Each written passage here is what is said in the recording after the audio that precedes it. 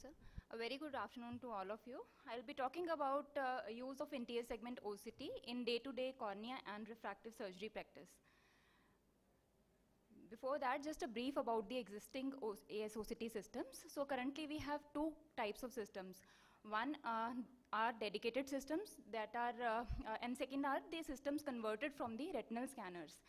Dedicated anterior segment OCC, uh, OCT systems use the uh, wavelength of 1310 nanometers and provide us with deeper and wider scans as compared to the systems converted from retinal scanners that give us uh, the um, uh, that use the wavelength of 830 nanometers uh, but provide us with very high resolution like this is the uh, Visante scan of 16 by 6 millimeter and this is the RTVue scan uh, of 6 by 2 millimeters. So with systems uh, uh, that are converted from uh, retinal scanners uh, to anterior segment OCT systems, we need to use add-on lenses. Like RTVue OCT uses the cornea anterior module that are of two types, CAM-L and CAM-S, that provide us with various scan options. Now coming on to the clinical applications of ASOCT in cornea and refractive surgery, we, it can be used to assess the corneal thickness and opacity to evaluate the pre-surgical and post-surgical anterior segment anatomy, guided laser uh, assisted cataract surgery to image the intracorneal ring segments and to see the position and vault size of the phakic IOL and there are many more uh, indications. So keratoconus can be diagnosed on anterior segment OCT uh, using four parameters based upon uh, central 5 millimeter pachymetry zone. We look at the inferior uh, superior uh, and or infratemporal to superior nasal octant difference, minimum thickness, minimum to maximum thickness difference.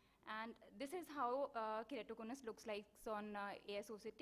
And we have the option of uh, uh, monitoring the serial progression of the disease. Epithelial mapping is a newer uh, concept uh, which is based upon the observation that epithelium remodels in response to the underlying surface stromal irregularities, becoming thicker in the area of the valleys and thinner in the areas of hills where the stroma protrudes.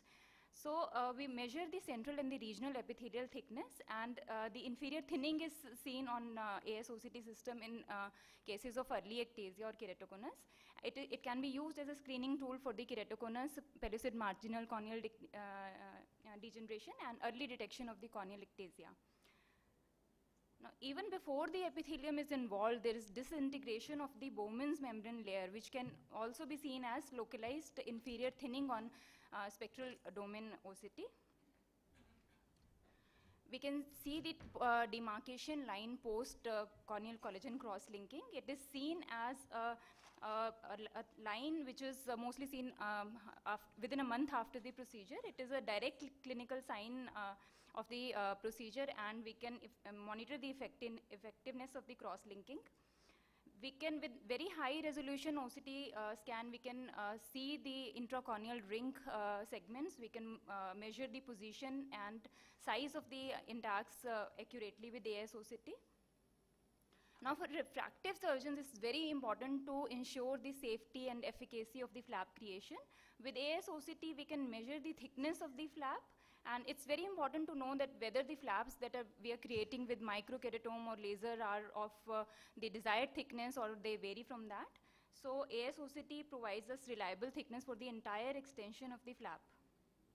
We can also look at the morphology of the flap, like femtoflaps are uh, thinner and planar, and flaps created with keratome are thicker and are of meniscus shaped. So uh, we can measure very accurately the thickness of the corneal scar, and hence it also helps in uh, uh planning the transepithelial ablation. For example, this was a 32-year-old male patient who presented to us with a dense paracentral corneal scar. And this patient underwent uh, surgery, LASIK surgery with microtome uh, somewhere um, else. So we didn't know the thickness of the flap. flap. Uh, we uh, did anterior segment OCT to measure the thickness of the flap as well as the scar depth. So the ASOCT measures uh, the flap thickness to be somewhere around 120 microns and the scar thickness was 186 microns involving the flap as well as the stroma. But still there was sufficient uh, residual bed. So we decided to peel off the scar and one month post-op, this is the picture. There was minimal scar and there was reduction in glare. So we, we can uh, visualize the flap even years after, surg- uh, years after refractive surgery. So it helps us to assess the potential safety of performing the enhancement procedure by relifting the flap. So like, for example, in this patient, uh, he had a residual refractive error of minus 1.7 uh, diaspherical. So ASOCT measured the corneal thickness to be 442 uh, microns, flap thickness as 177 microns, and the residual thickness uh, stromal bed was just 265 microns. So we decided to do surface ablation rather than uh, doing ablation by relifting the flap. This is a case of epithelial ingrowth, and when we did uh, anterior segment OCT, it showed the, that the extent of the epithelial uh, ingrowth was much broader than it appeared on the anterior uh, the slit lamp examination. There was thinning of the overlying flap. The flap thinned out to almost 90 microns on uh, anterior segment OCT. So OCT confirmed that this patient needed surgical intervention to remove the epithelial ingrowth. So cornea, for corneal surgeons, it has become very important tool to uh, know the health of the DSEK graft, uh, to know the position, attachment of the graft to the recipient, quality of the interface, and corneal thickness. So this is the OCT image showing a very nice attachment of the DSEK graft to the underlying stroma. While in this case, there was a lot of corneal edema on day one, so it was not possible to visualize the graft on uh, slit lamp. So ASOCT is very clearly demonstrating the central detachment of the graft. So immediately rebubbling was done. And on day one, there was again nice attachment of the uh, graft with clear cornea. So almost 14% of the Descemet membrane detachments are, uh, uh, are diagnosed on uh, anterior segment OCT systems. So like for example, in this patient, again, the patient had a lot of corneal edema on day one on slit lamp, so it was not possible to assess the uh, status of the Descemet's membrane. The ASOCT clearly showed shallow, but a, there was a large DM detachment. So again, the C3F8 was injected, and, and on day one, there was clear cornea with attachment of the Descemet membrane. So another important uh, and exciting advancement in the uh, cataract surgery field is the uh, development of femto second, laser cataract surgery. So most of these systems have real-time uh, OCT integrated in them, so we can visualize almost whole of the anterior segment starting from lens to a posterior capsule.